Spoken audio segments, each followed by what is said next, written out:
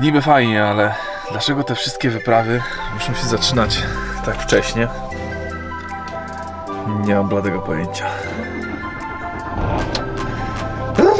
Tym razem wycieczka nieco inna, ale najpierw, jak to na każdej wycieczce, trzeba zebrać drużynę. Ekipa w komplecie, to można jechać.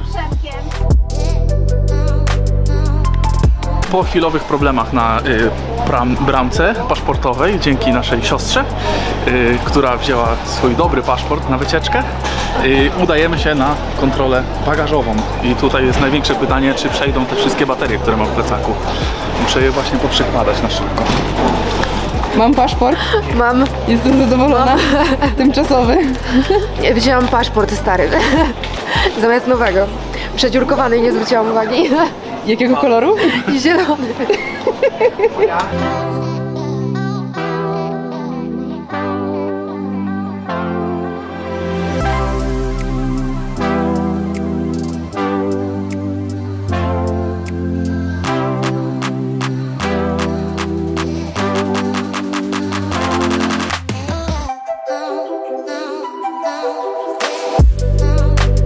Pierwsze wakacje all inclusive i trafiło na dżerbę. Jest to prezent od ojca na dzień dziecka, także bardzo mnie to cieszy.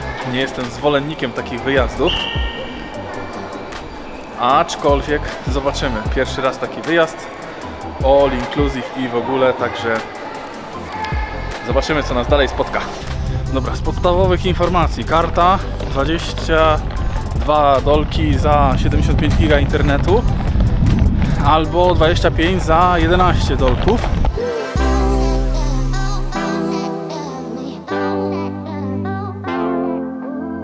All inclusive, double standard. Zaraz zobaczymy co tu będzie grane. O, o drzwi nie wyjebało. I'm sorry. My friend. My friend. Ale jebie chemią. No trochę jebie. I mieliśmy mieć widok na garden. No kurwa, mamy widok na garden. Hotel Palm Azur. To tutaj przez najbliższe 7 dni będziemy mieszkać. A teraz zabieram Was na małą wycieczkę po hotelu.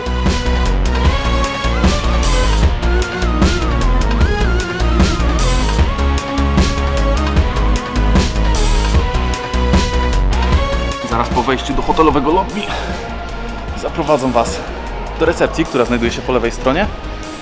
Po prawej mamy sklepiki, prosto patio, a zaraz obok recepcji, tym korytarzykiem, znajdziecie restaurację. Na głównym patio dzieje się całe życie dzienne i wieczorne, od grania w polo, po hulanki w wodzie, yy, aerobik, na ziemi, pod ziemią, pod wodą, na wodzie, wieczorne występy artystów i tutejszych animatorów. Także to właściwie tutaj będziecie spędzać najwięcej czasu w tym hotelu.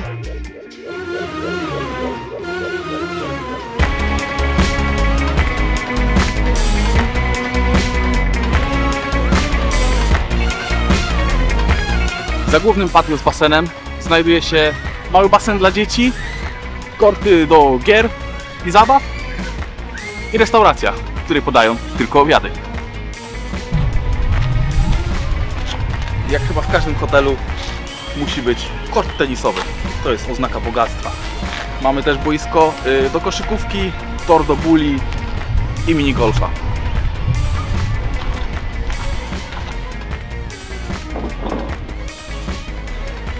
Przy samej plaży znajduje się bar, restauracja, w której podają jedynie obiady. Z tyłu płytki basen dla małych dzieci i zjeżdżalnia. Na zjeżdżalni akurat jest ciekawie, ale jest ona otwarta tylko i wyłącznie yy, dwa razy po dwie godziny w ciągu dnia. Tak raczej wieczorem się odpala.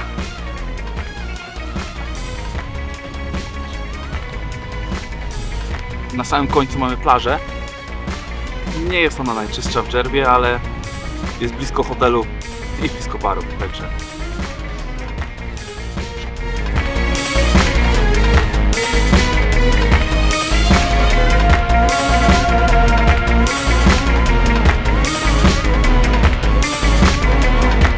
Tak, tak w skrócie wygląda cały hotel, a ja idę poleżeć nad basen. Nemiro?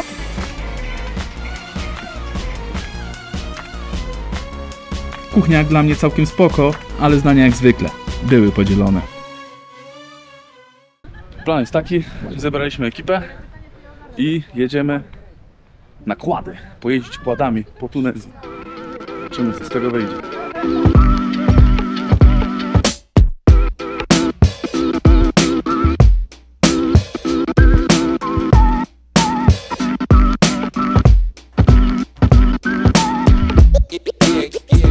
Wycieczkę zaproponował nam miejscowy przedsiębiorca kręcący się codziennie po hotelu, który miał wszystkie atrakcje oferowane przez inne biura podróży.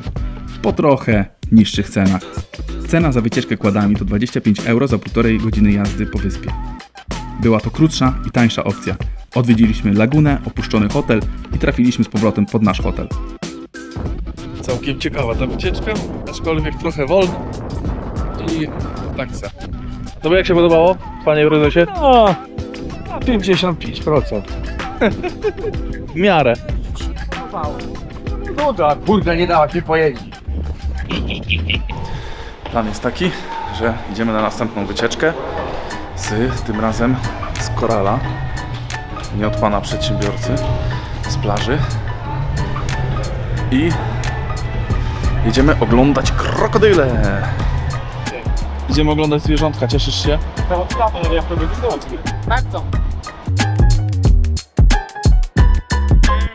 Pierwszą atrakcję w planie naszej wycieczki, czyli wielbłąd, który wynosi wodę z studni, żeby nawadniać te wszystkie roślinki, które tu są dookoła.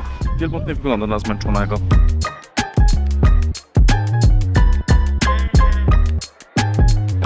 Największą atrakcją tego parku jest oczywiście karmienie krokodyli, których jest tu ponad 400 na całej farmie. I właśnie na to idziemy. Krokodyle karmione są kurczakami. Sobie tak smacznie chrupią. Niam, niam. A poza tym, jeśli chodzi o samą wycieczkę, zapłaciliśmy 25 euro za wycieczkę hotelową, a można to zrobić dużo taniej, yy, jadąc po prostu, przyjeżdżając taksówką i kupując sobie bilet samemu. 30 dinarów za wejście i taksówka jakieś 6. Także sporo taniej.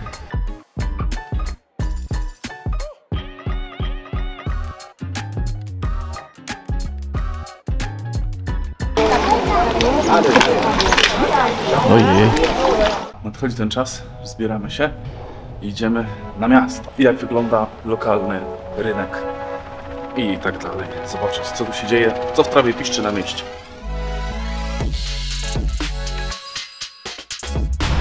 Wszystkie te taksówki są turbo ciasne jak dla mnie. Jakieś malutkie. Dasz radę. Ale za to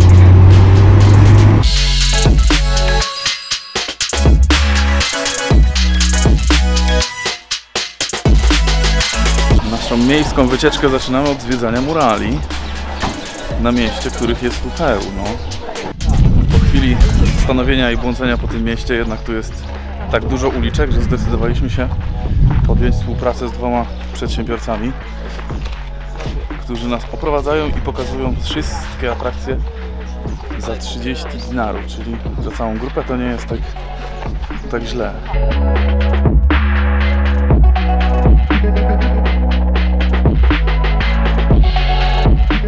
W całej wiosce Eriagach, gdzie stworzono projekt Dżerbachut, są dziesiątki malowideł na ścianach w różnym stanie, a malowali je artyści z całego świata, w tym również z Polski.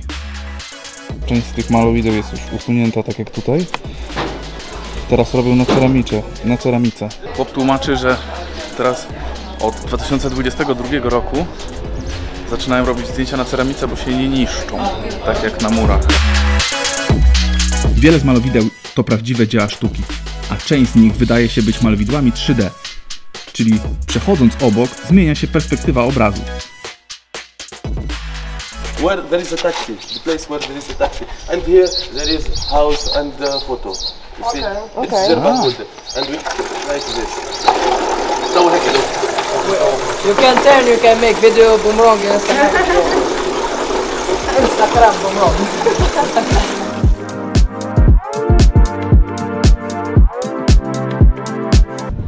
Po zwiedzaniu murali udajemy się do portu. zobaczyć, co za atrakcje mają w porcie.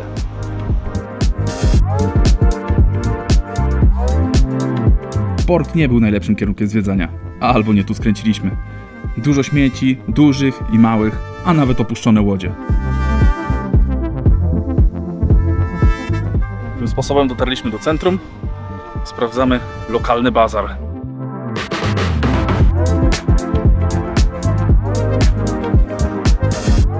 Na bazarze dużo zaczepiaczy i oczywiście trzeba się targować, my friend. 40. Nothing more. Czyli you mafiosa. Yeah. 2051 No, African war. no, 40.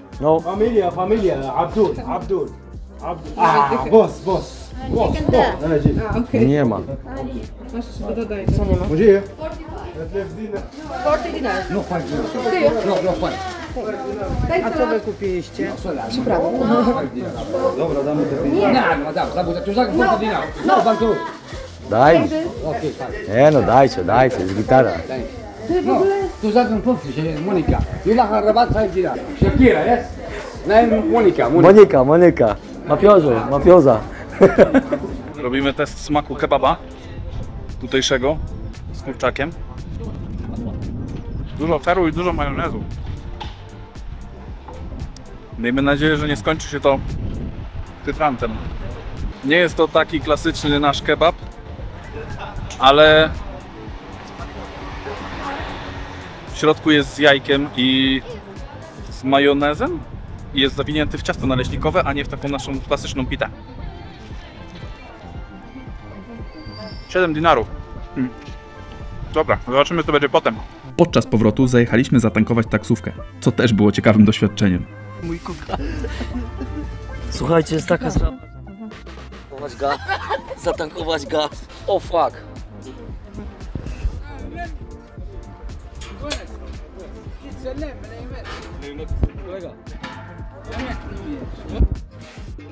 Fotografia? U nas w Polsce nie ma tak. No, no, no. Słuchajcie, jeszcze nie powiedział, powiedział mi, że nie mogę kamerować, nie mogę kamerować tamtego. On nawet tej buty z tyłu, słuchajcie, ma nieprzymocowaną. Jak ja tam kurwa zajrzałem, to jestem w takim szoku, że szok. On to teraz tam wrzuci, to tam leży, lata sobie tam ten z przewodem. A reduktora nie ma chyba nawet. Plan jest taki, że będziemy latać takimi spadochronami. Zobaczymy co ta atrakcja warta. Yy, 25 euro. I przyjazd taksówką, bo to nie jest w naszym hotelu. I tutaj mają ładniejszą plażę.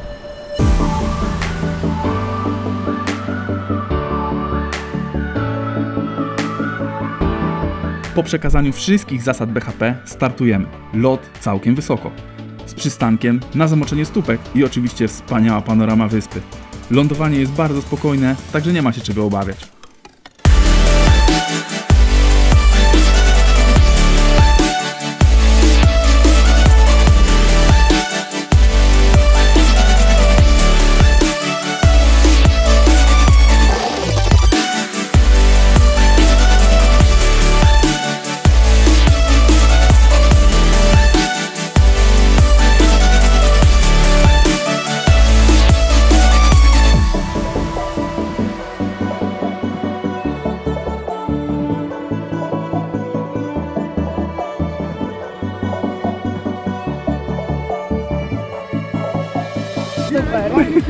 Jeszcze raz. Wycieczka na All Inclusive kończy się tak samo jak rozpoczęła, czyli na lotnisku w Dżerbie. I cóż, czy All Inclusive dla mnie? Nie wiem. Ogólnie na Dżerbie trochę ciepło. Jak dla mnie za ciepło, ja nie jestem światłolubny. Ja nie jestem słońcolubny. Ale ogólnie fajnie, trochę potańczyliśmy, pobawiliśmy się. Oczywiście nie zabrakło też przypałów. Ale to już wam opowiem z domu, bo jest godzina 5 nad ranem i mamy wylot o jakiejś dzikiej godzinie, także pogadamy już z domu. Muszę chwilę odpocząć.